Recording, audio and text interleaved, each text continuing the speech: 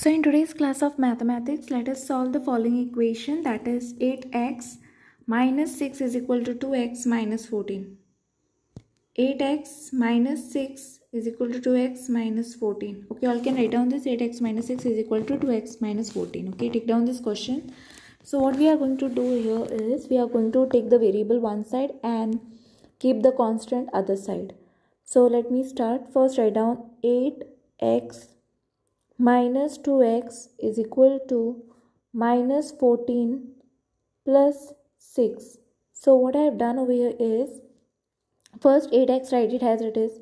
This 2x will come left side so it will become negative 2x is equal to minus 14 write it as it is this constant term when it goes other side it will become positive 6 because here it is negative okay that's why the sign will change.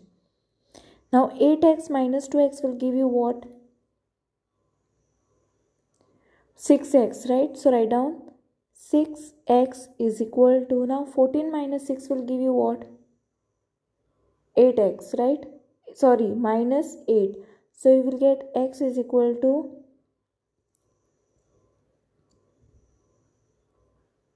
minus 8 upon 6 so 2 3s are 6 2 4s are 8 so therefore the value of x is what?